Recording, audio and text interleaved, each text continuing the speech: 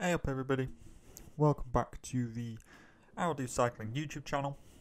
Talking today about Velogames again, uh, but this time Gent Wevelgem, round 7. I didn't have a particularly good E3 Saxo Bank round 6, so really looking for a bit of redemption here. So, Gent Wevelgem, seen as a bit of the uh, Sprinters Classic, but looks like it's going to be pretty windy tomorrow. So I guess the options are do you think that it's going to be a sprint, or do you think that it's going to be an attacking group getting away, a bit like last year where Mads Pedersen won?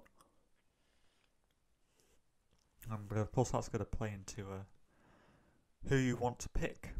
I think a, a fairly constant rider across most teams will be man here, Wout van Aert, because of course he can attack and he can sprint and he's therefore just a good option for, for everything. Despite being the most expensive, I think that you can still make a very good team um, with him in there.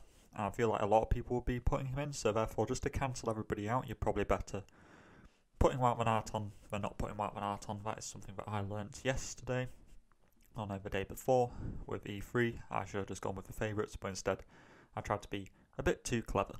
So we're going to go back to basics today. So Wout van Aert's going to be our first rider.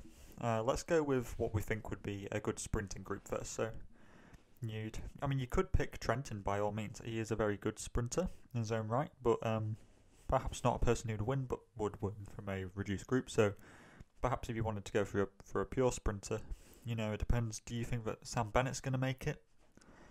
You know, will Deceuninck be playing for that? I think they probably will.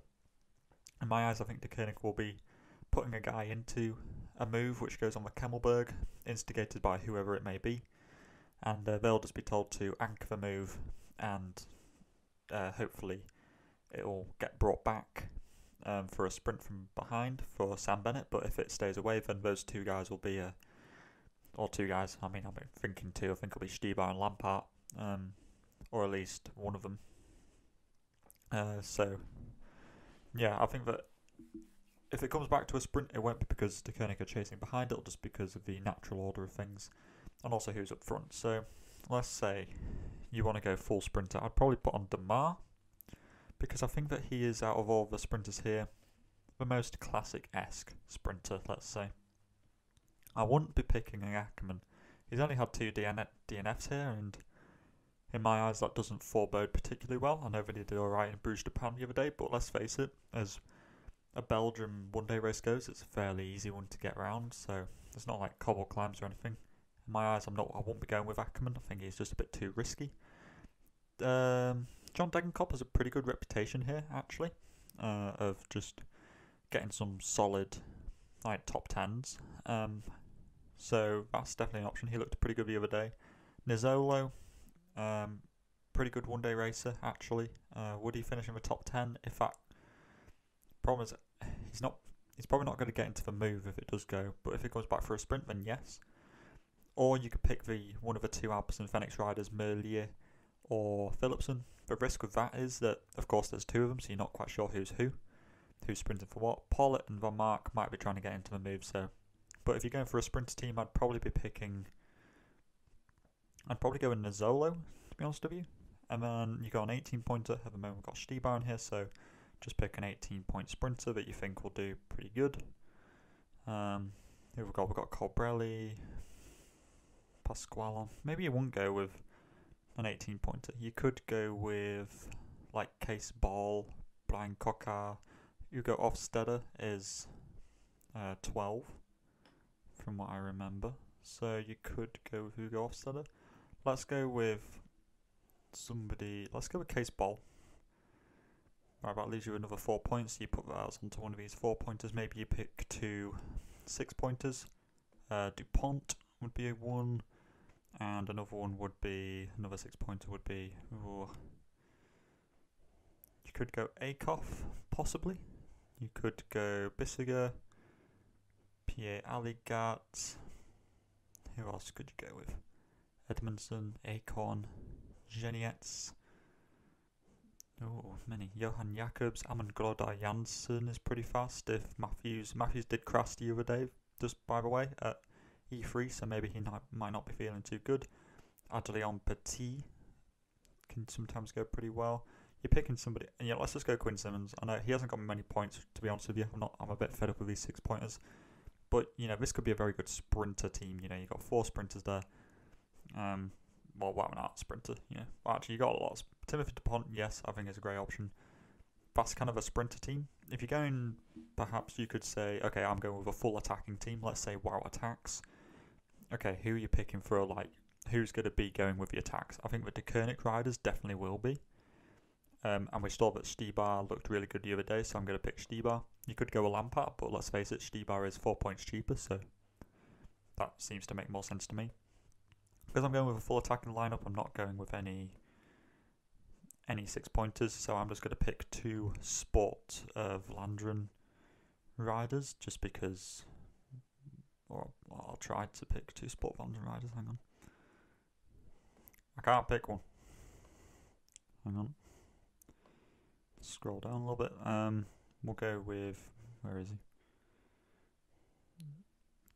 This guy. No, he's not Sport Vlaanderen. You, you, you know what I mean. You, you go with a Sport Vlaanderen rider, okay? Because they'll probably get him a breakaway. Um, and then probably go with. So we got Stybar in there. Who else is going to go the attack? Um, I think in terms of we're going with who looked good at E3. Nason looked good. Van Avermaet looked good. You could go with Mads Pedersen if you're feeling like a bit braver. Um, Lampaert, of course, he was bridging the across and got flat tyre. Stuyven looked pretty good.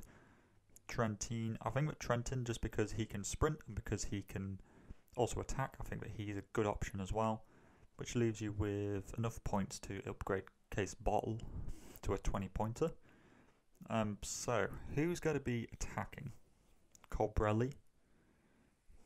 Mm, Mark has been ill, so that's a bit unknown. Nils Politt, again, uh, his team wasn't in, in, the race because Matt Walls tested positive for COVID, so is Politt going to be quite, you know, keen to get going? Degenkolb, just because he has a good reputation in this race, I think that he's not one that you just want to write off. I think out of all the Lotto Soudal riders, he looks pretty good. You could put Degenkolb in there. Um, I think that's quite, it's quite a nice team. Alternatively, if you didn't want to go with Degenkolb. You could go with like Anthony Turgis because he's quite attacking. Use those points to upgrade Stybar. You could then pick uh, Yves Lampaert if you wanted to, um, or Stuyven. I'd probably pick one of those two. Um, but I think you want a Deceuninck rider, so you could go with Lampaert in that kind of sense as well. Um, another option would be you could pick a sprinter in this part. So you could take off Trentin and you could pick uh, Démare if you kind of wanted to cover your bases a little bit and pick a guy for uh, groups in the attack. So maybe Wout and Lampaert in the attack with Turgis and then Démare sitting behind for a sprint. Risk is Démare doesn't come back. He ends up finishing 20th place. That isn't as good as if you would have picked Stuyven, who perhaps got into the move and was therefore got you more points because he finished eighth or something like that. So that's just kind of how you think that's going to be up to your jurisdiction. Perhaps look at some previews going on. There's a lot of good ones if you go onto like Twitter and stuff. Cycling Mold is a really good one. Um, Quick Link Podcast, um, TT Podcast. You know, all, uh, there's so many great ones that you could listen to and uh, go go read about. Go see what people are saying about wind, what they think, what the general consensus is. I personally think because it's so windy, there's more than likely going to be echelons, which means that quite a few sprinters are going to be out the back. So just play it safe, I'd say. I'd say get Wout and Arton covering, you know, the sprint and the um, and the potential attack. I'd say pick a Deceuninck rider to go into that break as well. So pick either Lampaert or Stybar, and then kind of choose whether you want to put another attacker on in like a Stuyven or a Trentin, a Trentin, or perhaps whether you want to go with a sprinter instead. Um, and then you know maybe just four pointers just bank on people going to a break. That's about it. If you want to hear my opinions about people, get hooked, like mention in the comments or on Twitter or anything. And uh, yeah, of course, just tell us who you think you're good upon your teams and keep your masks on. Stay safe, and I'll uh, talk to you next time.